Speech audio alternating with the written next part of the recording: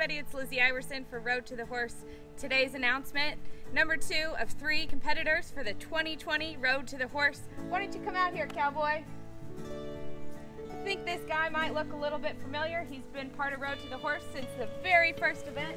Craig Cameron, congratulations on being invited back to 2020. Well, thank you so much. I want to thank Western Horseman, and uh, again, always such an honor and privilege to go to the Colt Starting World Championships at Road to the Horse, and uh, you know, I'm excited about going. You know, I'm, I'm surprised to get asked again, and uh, uh somebody was saying when uh, y'all were telling me this, they said, well, you know, Cole, is Cole going because of you? And I said, no, I'm probably going because of Cole. So, yeah. But uh, excited to be there and uh, should be a great event, going and growing and, and uh, getting better each time and a great learning event for me and all the fans and hopefully all the horses too. So, so do you think that in all your years of, uh, of going, witnessing the action, do you think you have an edge on the competition?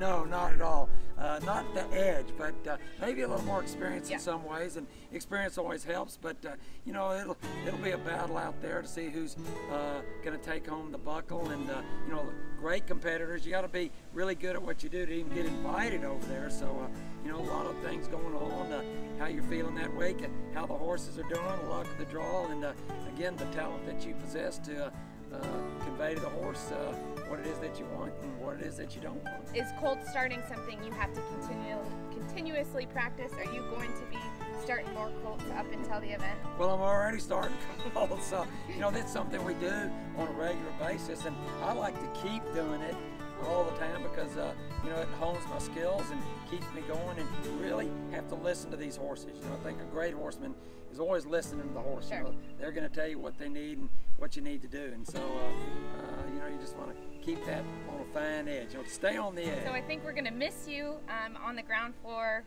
on the microphone. Uh, yeah. But I think everyone can agree that we are excited you're going to be one of the three competitors in 2020. Well, I'm Good excited. Luck. Thanks for, I see you guys there. Appreciate it. Thank you, Western Horse.